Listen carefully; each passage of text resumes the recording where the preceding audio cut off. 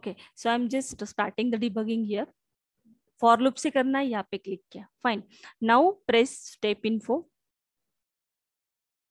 okay so now it gives the enter the string suppose i'm entering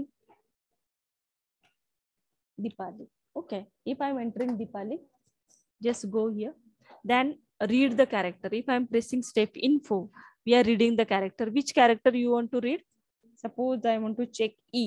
How much time it is present in given string? Okay. I'm just entering it. Okay.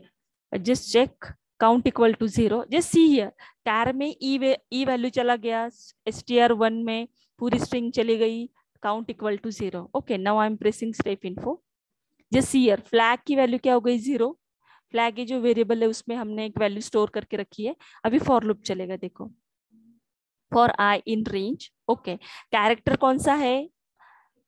E e.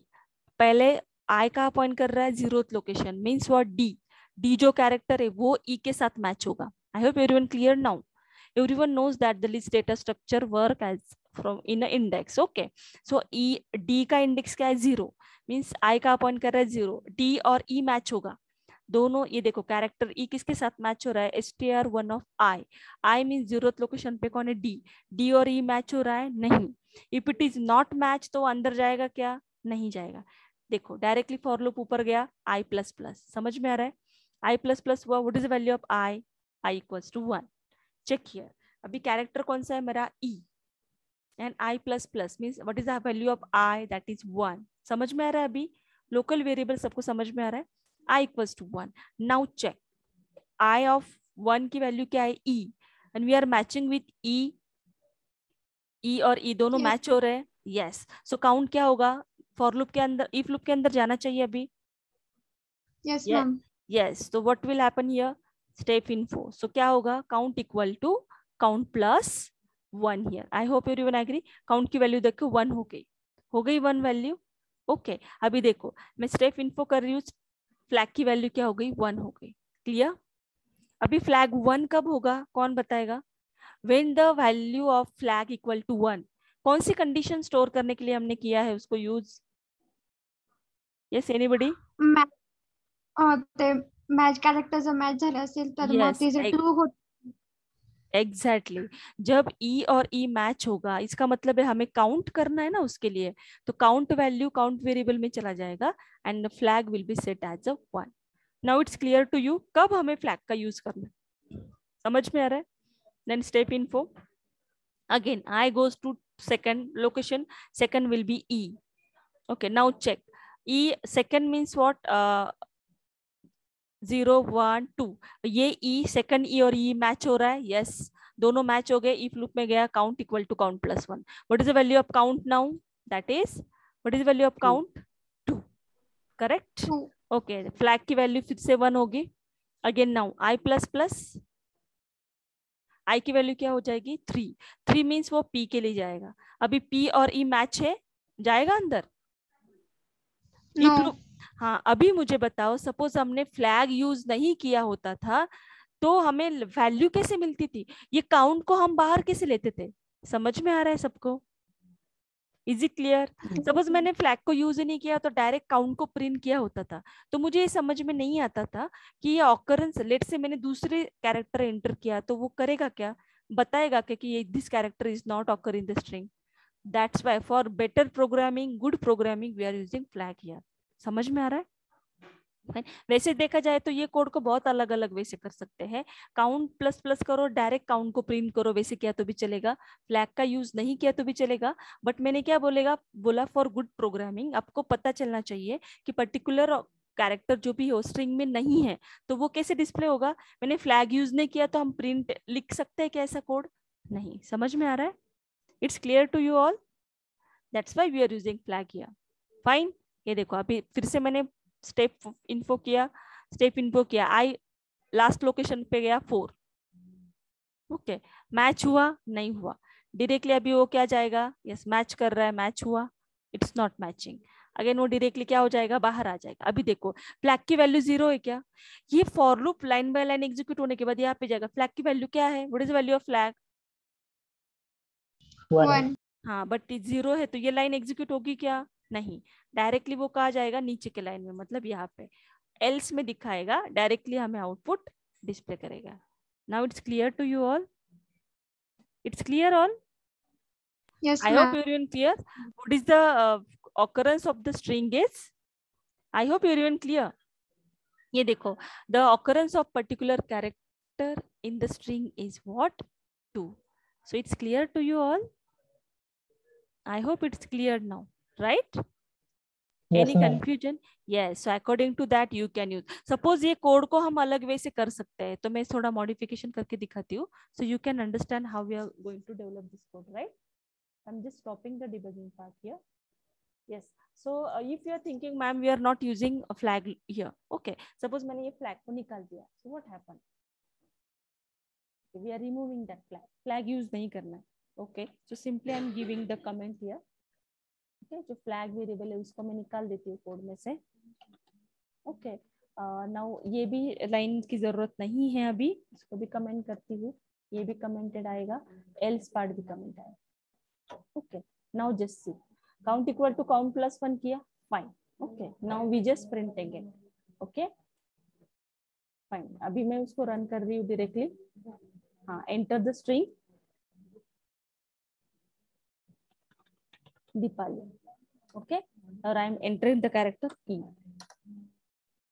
just see here output output window yes what happened in this case the occurrence of particular just see उसने कितनी बार दिखाया जितना for loop execute कर रहा है जितने character है one two three four five six seven one two three four five six seven but output correct दिखा रहा है two but it's a correct output मतलब उसने फॉर लूप का पूरा डिस्प्ले किया।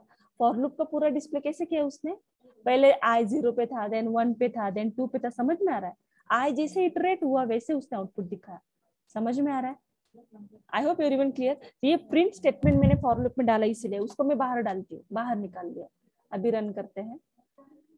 I enter the string that is Dipali. Okay, I'm entering the character that is E.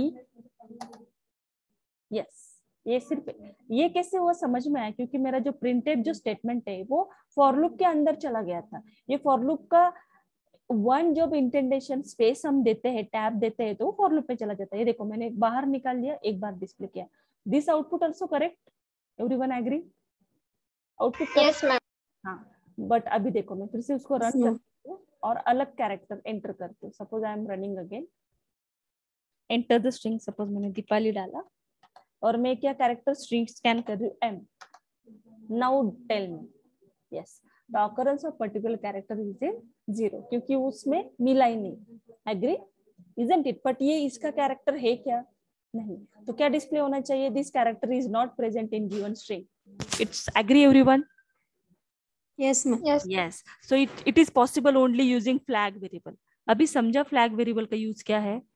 It's a good programming condition store करने के लिए हम उसका यूज़ करते हैं। समझ में आ रहा है? सो so, फ्लैग की वजह से प्रॉपर क्लियर होता है कि particular given character is not present in a string given string clear now it's clear to you all yes yes fine thank you so much dear students for clearing all this things okay so now can we start the third part also so that you can implement at home? हम next Thursday में क्या check करेंगे? इस practical का आपको क्या clear हुआ? That is इस प्रैक्टिकल का लास्ट का जो फ़ंक्शन है वो चाहिए तो हम रखते हैं बनाने के लिए।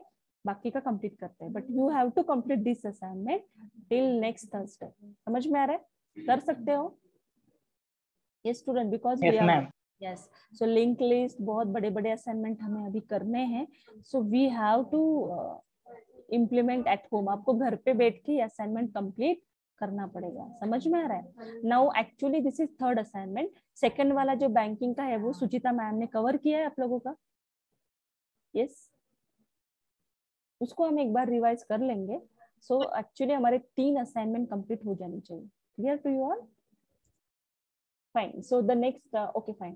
Uh, don't take a stress. Just concentrate here. The next mm, function will be what to check whether a given string is palindrome or not okay so it's uh, something uh, different logic that we have to uh, implement it.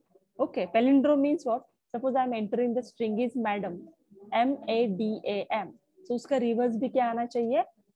Reverse भी क्या है? Madam Yes. Madam That we have to check whether the given string is palindrome or not.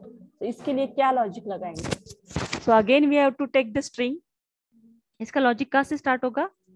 Again it is start from home input the string yes to find the length of the given string length तो find out करना पड़ेगा. Okay okay. So so, ये uh, last जो location है zero one two three four इससे हमें minus one Q जाना है? क्योंकि लास्ट का जो स्ट्रिंग का टर्मिनेशन स्लैश ज़ीरो होता है. इसलिए हमने माइनस वन स्टोर किया। देखते हैं हम वो कैसे करते हैं। फ्लैग ज़ीरो फ्लैग लिया। उसके बाद स्ट्रिंग को दो पार्ट में डिवाइड किया देखो लेंथ बाय टू मतलब मैडम जो स्ट्रिंग है उसको दो पार्ट में डिवाइड किया। और दो पार्ट में डिवाइड करने के बाद लेट से आ, मैं कैसे यूज़ कर रही हूँ? मैं आपको वर्ड में लिख के दिखाती हूँ। So M A D A M ऐसा जो स्ट्रिंग है suppose I am writing here suppose मैंने स्ट्रिंग क्या लिया? M A Now it's taken as a vanished pen? Closed.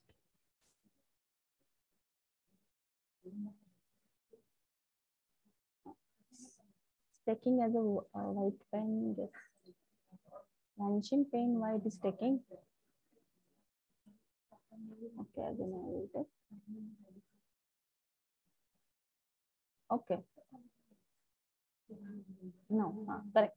This is let's say M a d a, m. This is our string. Is okay madam okay. So, उसको क्या करना है? हमें ये जो string दी है, उसको दो पार्ट में डिवाइड करना है. Okay. So, this is what, suppose m a, this string, m a, ये एक, उसको हम क्या कर रहे हैं? दो पार्ट में क्यों डिवाइड कर रहे हैं? डिवाइड बाय टू किया देखो. Means we are dividing this M A separate and this M A separate okay और ये मिडल वाला रहेगा. समझ में आ रहा है? तो हम चेक कैसे करेंगे? फ्रॉम लेफ़्ट टू राइट और राइट टू लेफ़्ट ऐसे चेक करेंगे character if it is both are match तो स्ट्रिंग इज़ अ पैलिंड्रोम बहुत इजी लॉजिक है बट उसको इम्प्लीमेंट करने के लिए थोड़ा सा ये लगेगा। थोड़ा फॉर लूप हमें अलग तरीके से यूज़ करना पड़ेगा। समझ में आया मैंने क्या लिखा? Again I am using radar word radar string R A D A R radar का भी सेम ही आता है। Isn't it? सपोज़ आप लेफ़्ट टू राइट मतलब क्या किया हमने स्ट्रिंग को स्प्लिट किया? स्प्लिट करने के बाद ये दो कैरेक्टर जो भी है R A left to right check कर रही है आर और ये आर मैच किया, ये ए और ए मैच किया। If it is both are same then we can say that the string is palindrome और ये सिर्फ़ किसके, कैसे पॉसिबल होगा? Using flag only okay so ये देखो, दो फॉर लूप हमें लगाना है। एक तो एक पॉइंटर यहाँ से लगेगा फ्रॉम स्टार्टिंग और एक ज़ीरो लोकेशन से। सपोज़ रडार स्ट्रिंग है रडार कहाँ पे है? Zero one location two location three and four okay so radar यहाँ से स्टार्ट होगा। Okay okay. कहाँ से? ये देखो आर एक आई मेरा स्टार्ट होगा यहाँ से तो जे मेरा स्टार्ट होगा लेंथ माइनस वन से। इसीलिए हमने यूज़ किया। देखो I equal to length minus one मतलब क्या? टोटल नंबर ऑफ़ लेंथ कितनी आएगी? One two three four five total length कितनी अपने स्ट्रिंग की? How many length of that string suppose मैंने रडार स्ट्रिंग यूज़ की है। कितने टोटल नंबर ऑफ़ कैरेक्टर्स है? फाइव यस फाइव है। और बट लास्ट कैरेक्टर कौन से लोकेशन पे है? Last character four fourth location पे। इसका मतलब क्या हुआ? फोर्थ लोकेशन पे मतलब उसको माइनस वन करना पड़ेगा क्योंकि ये फाइव है। लेंथ हमने जो कैलकुलेट की है देखो एल वन में हम क्या स्टोर कर रहे हैं? Find the length of the string isn't it और उसका एक लोकेशन बैक रहेगा मतलब length one minus one so it points to the fourth location it's clear to you all I hope it's yes clear ma'am okay fine so इसलिए I कहाँ से चल रहा है हमारा? Yes I should be what len minus one और दूसरा variable हमें यूज़ करना पड़ेगा that is J J pointings to starting समझ में? लॉजिक समझ में आया?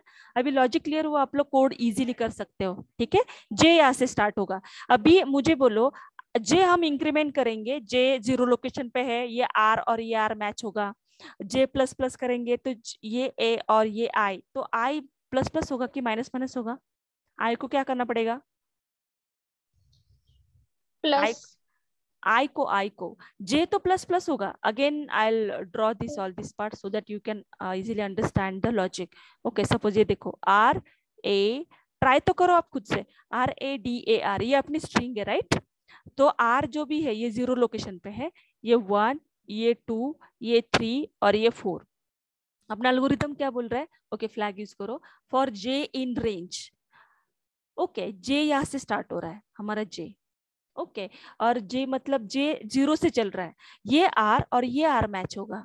ये आर और ये आर मैच होगा तो यहाँ पे मेरा आई है। आई कहाँ पे पॉइंट कर रहा है? लेंथ माइनस वन मतलब आई फोर पे पॉइंट कर रहा है एग्री सो so, जैसे मेरा देखो string J is not equal to equal to नहीं होगा तो फ्लैग को वन करो else break so equal to होगा तो ठीक है नहीं होगा तो हम देखेंगे बट जे यहाँ से स्टार्ट हो रहा है हमने स्प्लिट किया ना स्ट्रिंग को by two length by two करके मतलब स्ट्रिंग को दो चीज़ में डिवाइड किया और ये आर किसके साथ मैच हो रहा है? ये आर के साथ। तो जे यहाँ से इंक्रीमेंट होगा तो आई क्या होगा? इंक्रीमेंट होगा क्या? J yes thank you so much please class clap for her actually that is very important part I हमारा जो भी हो डिक्रीमेंट होगा। मतलब ये और ये आर मैच होगा if it is same then again J decrement and I should sorry I increment I decremented and J should be incremented so ऐसे हम चेक करेंगे। सेम होगा okay. This is again same होगा okay if it is same means what the string is palindrome means flag one हमने कब set किया? जब not equal to रहा तो। तो आप बोलेंगे, मैडम, आपने पिछले प्रोग्राम में तो इक्वल टू होगा तो किया था। ये देखो फ्लैग ऐसा वेरिएबल है, आप किसी भी तरीके से उसको यूज़ कर सकते हो। समझ में आ रहा है? अभी मुझे ऐसे लग रहा है नॉट इक्वल टू के लिए सेट करना है तो कर सकते हैं। डिपेंड्स अपॉन यू आपको कैसे यूज़ करना है। So I hope you clear the logic of palindrome yes so एक बार में आप लोगों को यस yes. सो so एक बार दिखा देती हूँ so that you can understand ये देखो स्ट्रिंग टू लिया इनपुट द स्ट्रिंग ओके फिर उसका लेन फाइंड आउट किया उसको प्रिंट किया आई स्टार्ट किया लेन टू से लेन आई माइनस वन किया मतलब लास्ट लोकेशन अभी समझ में आ गया होगा।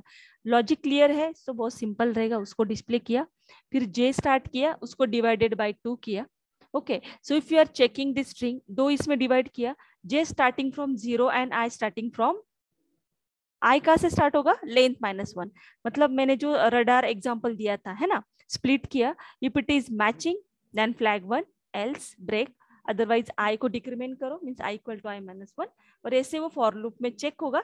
If it is flag one string is palindrome if it is not string is not palindrome so it's clear to you I hope it's clear so will check is within one minute उसका output आपको run करके दिखाती हूँ so that you can try this code at home okay till saturday uh, till uh, next thursday you have to complete these two functions okay palindrome and last one also very easy function last wala kya hai hamara yes that is to determine uh, yes this one uh, we already covered okay last one is what to count the occurrence of each word in the given string i think this one also completed okay to count the occurrence of each word every word का count check करना है उसके लिए अलग logic है। ठीक है, वो रहने दो। If if you possible to do then do no problem otherwise I will explain but आपने पैलेंड्रोम का करके देखना है। मैं एक बार सिर्फ़ आपको रन करके दिखाती हूँ।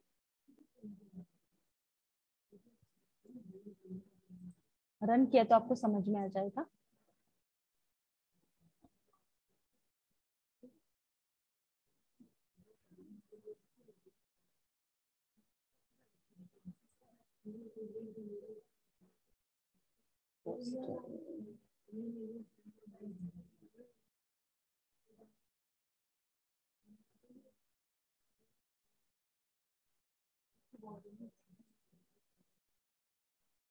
Wait for one minute i will start it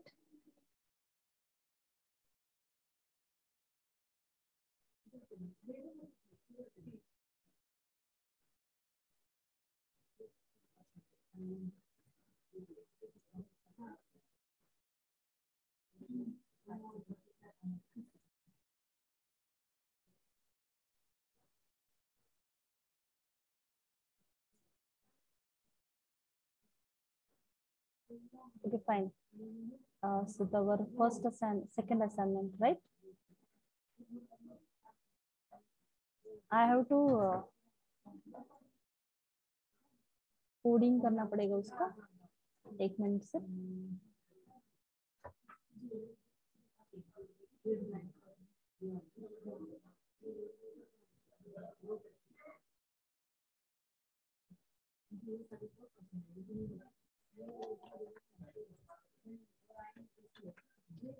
the uh, screen is visible to you? No ma'am. Ma'am. Okay no ma'am. Fine now it's visible? Yes ma'am. Okay so वही कोड मैंने किया है सिर्फ़ हम उसको रन करके देखते हैं अभी इट इज़ वर्किंग और ना only one minute in our hand yes enter the string suppose R A D A R radar just see the output string is palindrome okay students so it's working so i hope everyone clear. क्या किया हम लोगों ने उसमें? It's clear to you all? Yes. Yes, uh, ma'am. yes. So you have to implement these three functions हमने आज जो cover किए हैं वो कंप्लीट करने हैं। लास्ट वाला ही possible then do otherwise I will explain it next time okay और तब तक आपने क्या करना है? इसका भी असाइनमेंट लिख के रखो। सेट का भी लिख के फ़र्स्ट वाला भी लिख के रखो। और जो सुचिता मैडम ने पढ़ा है बैंकिंग का उसका भी मैनुअल्स लिख के रखना है। फाइन